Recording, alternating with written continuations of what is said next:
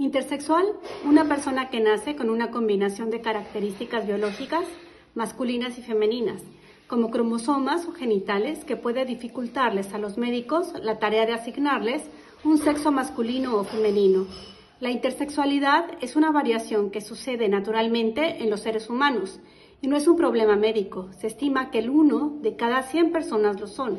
Hay muchas variaciones de intersexualidad. Algunas personas intersexuales tienen órganos sexuales internos o genitales ambiguos. Por ejemplo, las personas que tienen tanto tejido ovárico como testicular. Otras tienen una combinación cromosómica que no es XY masculina y XX femenina, por ejemplo, XXY. Además, algunas personas nacen con genitales que aparentan ser totalmente masculinos o totalmente femeninos, pero sus órganos internos o las hormonas que segregan durante la pubertad no coinciden.